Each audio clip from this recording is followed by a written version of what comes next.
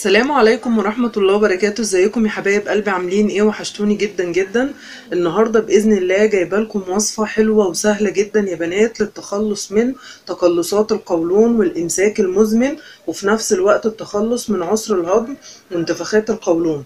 إن شاء الله يعني بأمر الله كده الوصفة معانا النهاردة هتساعدكم بصورة كبيرة جدا على حل مشكلة الغازات والإمساك وفي نفس الوقت الانتفاخات الشديدة إن شاء الله مع بعض هنشوف كده كذا وصفة وإنتوا بقى تختاروا الوصفة المناسبة ليكم بس يا بنات قبل ما نبدأ الفيديو ما تنسوش بقى إن شاء الله تعملوا لي آه لايك وتشتركوا في القناة وتفعلوا زر الجرس عشان يوصلكم إشعار كل الفيديوهات الجديدة اللي أنا هنزلها لكم. يلا بقى بينا كده تعالوا نشوف أول وصفة هنعملها إزاي. إن شاء الله الوصفات دي يا بنات فعلا هتكون سهلة وبسيطة جدا. وهتقدري من خلالها إن أنت تتخلصي من كل المشاكل اللي القولون آه بيتسبب لنا فيها.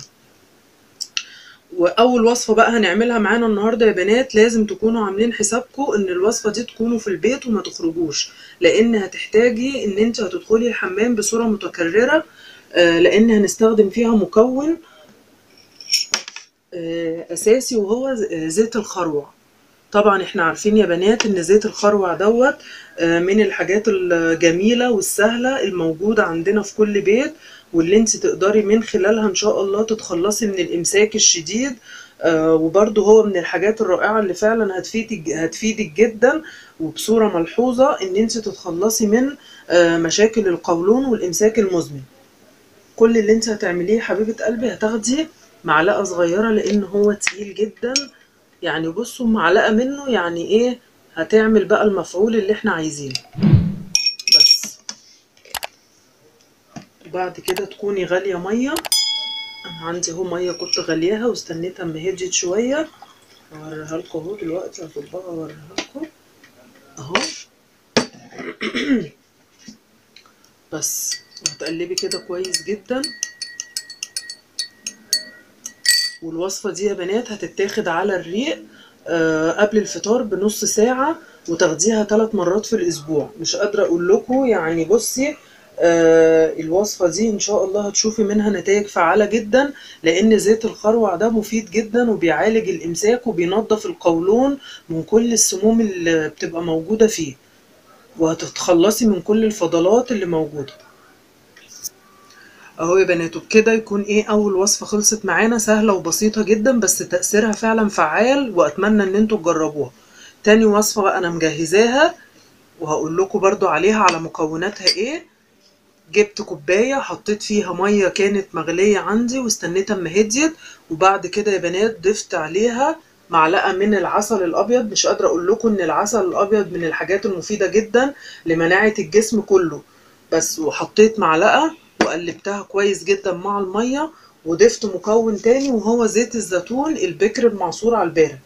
مش قادرة أقول لكم برضو زيت الزيتون من الحاجات المفيدة جدا للجسم والممتازة جدا للجهاز الهضمي بصورة ملحوظة جدا والله يا بنات. وإن شاء الله بأمر الله هتلاحظوا الفرق من أول استخدام هتاخدي فيه الوصفة دي. والوصفة دي برضو يا بنات هتاخديها على الريق وهتبتدي تقلبي كده كويس وتروحي إيه شرباها وتقدري بقى الوصفة دي إن انت تاخديها كل يوم على الريق وحلوة جدا وفعالة جدا جدا لأن زيت الزيتون بصي بيخلص القولون وبيخلص كل الأمعاء من كل السموم المتراكمة والموجودة يعني رهيب جدا يا بنات وفعال. ومع وكمان حاطين عليه معلقة من العسل الأبيض أو عسل النحل يعني المشروب ده فعلا هيريح معاك القولون وهيخلصك من مشاكل القولون والإمساك والإضطرابات اللي بتبقى موجودة في المعدة.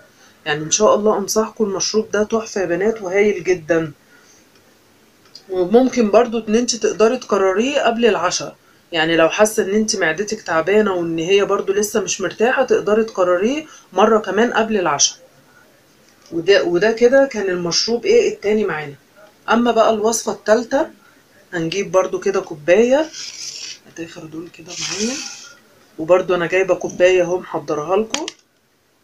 فيها مية دافية هنستخدم بقى يا بنات في الوصفة دي هنستخدم معانا الزنجبيل أو المطحون أو الجنزبيل ولو عندك فريش ينفع. مش قادرة أقول لكم يا بنات هت... الجنزبيل ده بيساعد على سد الشهية والتخلص من الدهون الزيادة في منطقة البطن وحوالين برضو الكرش آه، وعامة أي دهون عندك في الجسم بيتخلص منها آه، وبرضو بيساعد إن أنت تتخلصي من انتفاخات القولون ومن الإمساك المزمن ومن عسر الهضم وكل المشاكل اللي هي بتاعت القولون دي هنقدر بأمر الله نتخلص منها من خلال برضو الوصفة السهلة والبسيطة دي يا بنات. هي دي مية كانت إيه مغلية برضو واستنيت أما هدت شوية أحط عليها معلقة من الزنجبيل أو الجنزبيل المطحون. الزنجبيل ده تحفة يا بنات ورائع. لل- عامة للبطن والمشاكل اللي هي بتقابلنا من القولون. يعني حلو قوي ومفيد الوصفة دي برضو فعالة جدا. يعني أنا جايبة لكم ثلاث وصفات فعلا من الآخر وأي وصفة منهم فعلا هتساعدك بشكل كبير إن أنت تتخلصي من مشاكل القولون. وبعد كده يا بنات المكون التاني هنضيف معلقة من النعناع المجفف. يعني إيه؟ أنا هحط كده. شوية كده مقدار معلقة. مش قادرة أقول لكم برضو النعناع جميل جدا يعني من الحاجات ومن المشروبات الجميلة اللي بتريح المعدة والقولون. وهنقلبه كده كويس. مع الزنجبيل. أهو. وآخر حاجة بقى أنا هضيف عليهم نص يعني إيه هجيب نص ليمونة هاخد منها قطرات يعني قطرات كده إيه أهو بس. والبنات اللي هي عندها حساسية في المعدة أو عندها يعني مشاكل في المعدة ما تحاولش إن هي تضيف الليمون. هيبقى كفاية عليها إن هي تحط ال- الزنجبيل مع النعناع. بس يا بنات والبنات اللي هي بتع- بتعاني من قرحة في المعدة تحاول إن هي أو التهابات في المعدة تحاول إن هي تبعد عن الليمون. بس ومش قادرة أقول لكم يا بنات بالثلاث وصفات دول هتقدروا إن أنتوا أي وصفة فيهم بقى تريحكم إن أنتوا تمشوا عليها وتستمروا عليها إن شاء الله هتشوفوا. يعني والله يا بنات هتشوفوا علاج رهيب جدا للقولون وهتقدروا إن أنتوا تتخلصوا من كل المشاكل اللي بيسببها في المعدة. أه واتمنى منكم بقى كده ان وصف وصفات النهارده تكون حلوة ليكم وان أنتوا تكونوا استفدتوا بيها. وما تنسوش بقى يا بنات تتابعوا الفيديو دوت معايا وتطبقوا الوصفات دي. ولو عجبكم الفيديو ما تنسونيش بقى في ال like والاشتراك في القناة. والسلام عليكم ورحمة الله وبركاته. ما تنسوش يا حبايب قلبي تعملوا لي like وتنزلوا تعملوا subscribe وتفعلوا زر الجرس عشان يوصلكوا كل جديد.